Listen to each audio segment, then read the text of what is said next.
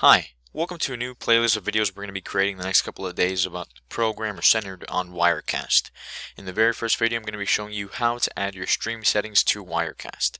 So once you have Wirecast downloaded, open and ready to go, one of the most important things is adding I guess the encoder settings so you can actually go live and you can send your stream to uh, your website, Facebook, YouTube, um, Instagram, you know, a ton of different places.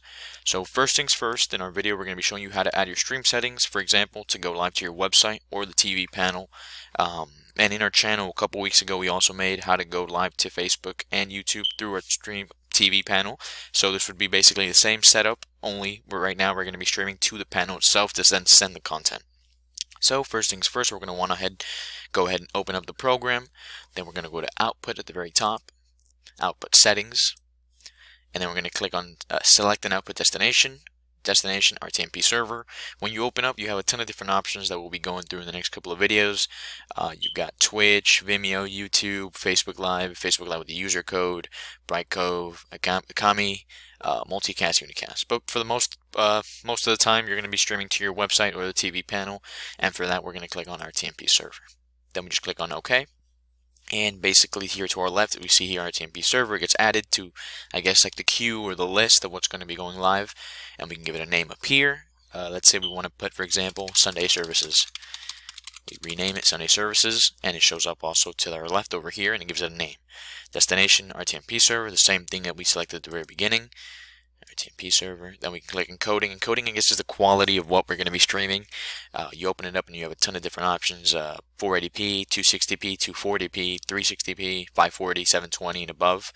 Um, if none of these qualities really fit your needs, what you can do is click on the little gear icon, view details, and automatically it opens up, I guess, a bigger options of a uh, bigger set of options. Um, the bit rate, for example, you got 4,000 kilobytes per second.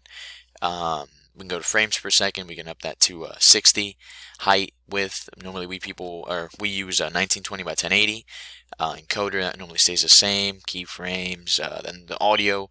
We got stereo or mono. Uh, target rate. We normally choose 128, but you can even up to 192. And the sample rate 4400, 44800, or 4800. I mean. So we have a couple of different options, and then if you made an option or a change here, then all you would do is click on Save As. You give it a name, for example, preset for Sunday services, we're going to name it. And this, what it does is it saves as an option so you can choose it in the future without having to basically re-add it every time. We click OK, and then we're going to click on Save, and then it will close it. And then we can click on 1080p, or we can also click on Preset for Sunday services, and it basically saves our um, our preset, our quality, the audio, etc. And then once we have that set up in the encoding portion, then we just enter the information. The address is normally the RTMP link. The stream, if um, most of the time we don't require it or activate it, but you can also use live authentication, which means that you would have to put in your stream, you know, your little username, I guess, and then the credentials.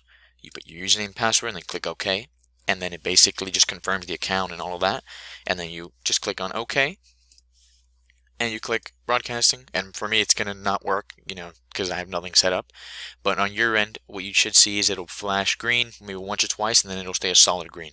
And you'll see here on stream it'll start it's got a little timer on it. It'll start going up and down. And basically you'll uh, you'll have like a little stream countdown or I guess a timer of how long you've been live. And then basically just to turn off the stream let's say you, you're done streaming for the day you just click on the icon one more time and it'll go from green to gray so I'm just going to give it a second here so I can say the error. Uh, once again, I get the error because I didn't set anything up. But hopefully you don't get the error. And if you do, you can just leave me a question, comments below, and I'm happy to help you out.